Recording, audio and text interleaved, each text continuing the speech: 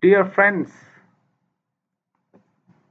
dear friends, today we are going to learn about anticoagulants.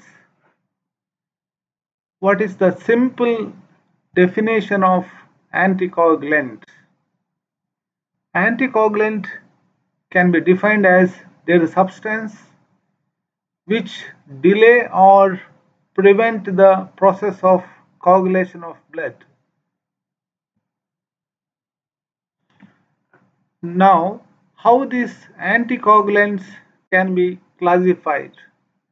It can be classified as natural and synthetic. Natural, it is also called as endogenous anticoagulants. Synthetic, which is also considered as exogenous anticoagulants. What are the examples for natural anticoagulants?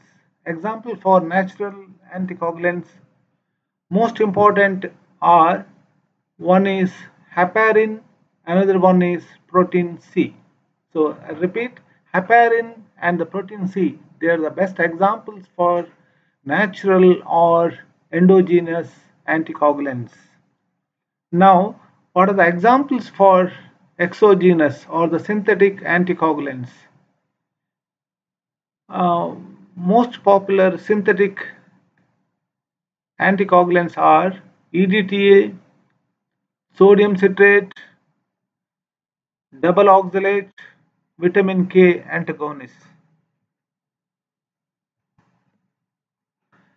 Now let us discuss about heparin. Heparin, it is the first anticoagulant, natural anticoagulant which is isolated from liver. It is basically polysaccharide. Heparin is basically polysaccharide. Heparin is secreted by basophils and mast cells also. Heparin which is present in liver, lungs, connective tissue, luminal surface of endothelium. This heparin, how it is destroyed or how it is eliminated from the body. It's basically this heparin is uh, destroyed by an enzyme called heparinase. This heparinase which is present in the liver. Now, uh, let us discuss about the mechanism of action of heparin. What it, what exactly this heparin does? This heparin, it facilitates the action of antithrombin 3. This heparin binds to antithrombin 3 and removes the thrombin from the circulation this heparin also inhibits the action of thrombin. It inhibits the active forms of clotting factor number 9, factor number 10, factor number 11, factor number 12. Now, what is the clinical use of heparin? The important clinical use of heparin is to prevent intravascular blood clotting. This heparin is also used during dialysis. It is also very much used during cardiac surgery. During cardiac surgery, what is the advantage of this? The advantage is actually uh, during cardiac surgery there is a possibility of coagulation. So it prevents coagulation during cardiac surgery.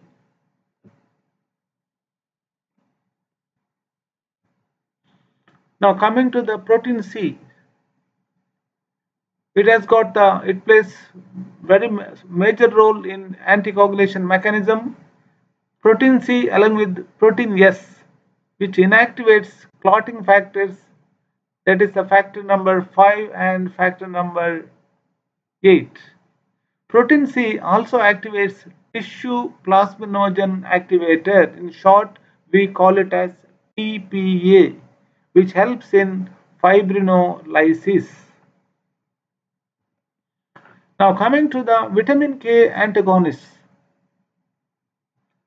These are basically orally used anticoagulants which includes coumarin derivatives, warfarin, another one that is phenindione.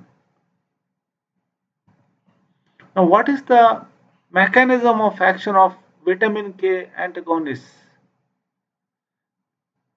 This warfarin basically it acts by inhibiting the enzymes that is vitamin K epoxide reductase and gamma glutamyl carboxylase. Vitamin K antagonists inhibit synthesis of vitamin K dependent factors like factor number 2, factor number 7, factor number 9, factor number 10.